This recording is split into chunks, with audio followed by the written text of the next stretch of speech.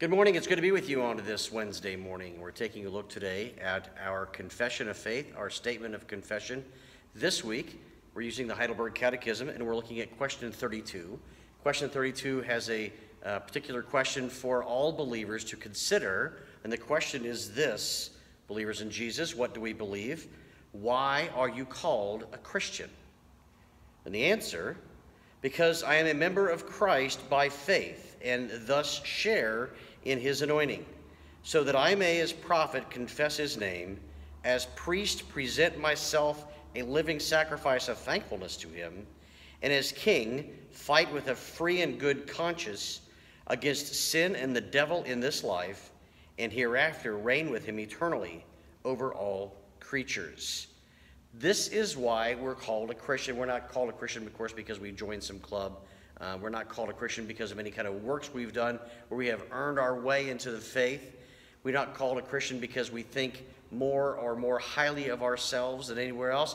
We're called a Christian because Christ has named us his own. Christ has declared us to belong to him. He has purchased us with his blood shed on the cross, and so we belong to him.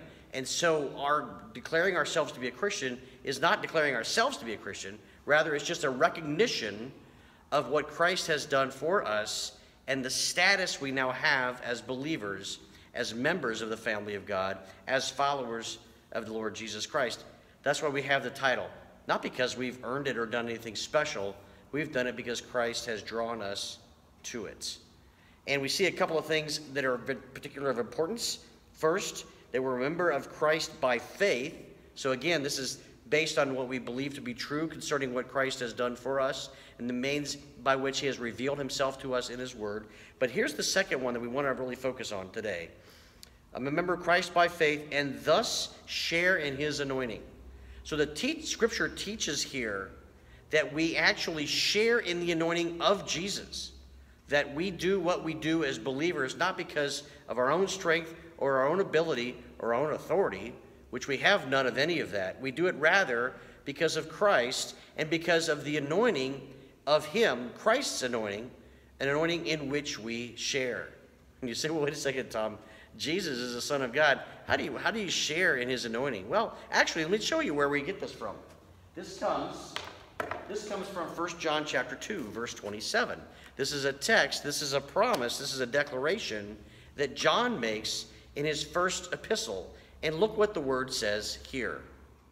1 John 2 27. As for you, the anointing you received from him remains in you, and you do not need anyone to teach you. But as his anointing teaches you about all things, and as that anointing is real, not counterfeit, just as it has taught you, remain in him. So, my friends, you see what this means for us. Not that we're doing this on our own strength, not that we're doing this on our own ability, not that we're doing this by our own authority, not at all. We're doing this under Christ. Christ leads and directs and strengthens and gives us the desire and the, and the, and the motivation and the strength and the ability uh, to do what we do. We serve Him, we serve our King who rules over us and directs our every step. And so, in the end, we'll see an ultimate victory and we'll see the victory over the various problems and struggles and difficulties of our life, not because of anything we do, not because we're wonderful. We do this because the anointing of Christ lays upon each believer. Those who come to Christ and trust in Christ by faith operate under the anointing of Jesus. And the anointing of Jesus is powerful indeed.